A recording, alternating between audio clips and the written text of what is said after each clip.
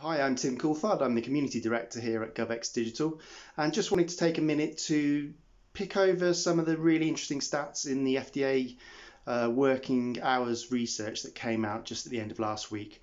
Uh, I've just finished pen- penning a blog on it for GovX Digital Intelligence and I guess it struck me that what's going to happen in the future is going to obviously quite different. Lots of things are going to change in the post-COVID world, but really how much people I think want this sort of right to self-determination in terms of how and where they work.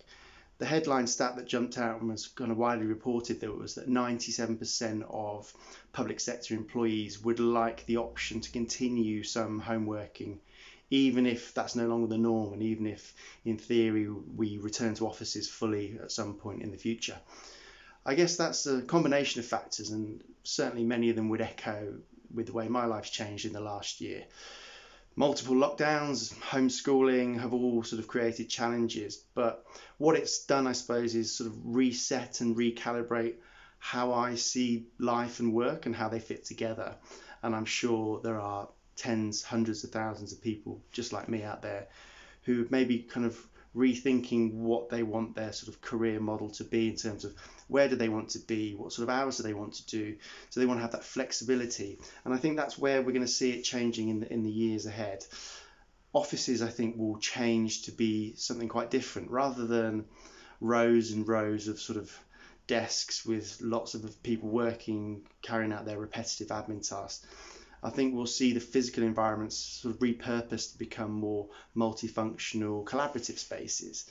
And that the sort of day-to-day humdrum activity getting stuff done might happen home remote working where you need that sort of quality time to get stuck into a task without a distraction. So i think leaders in the public sector will be rethinking what they're doing how they're managing teams I think everybody's sort of had enough of that long video call humdrum that happens day after day.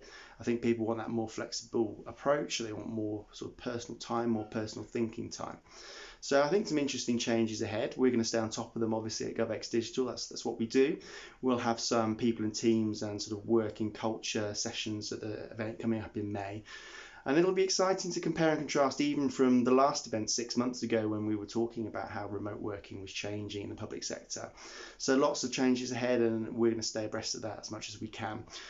Keep peeled on the intelligence blog as well. We'll have lots more content coming up around that. But in the meantime, that's all for me. Homeschool beckons, and I'll catch you soon. Bye bye.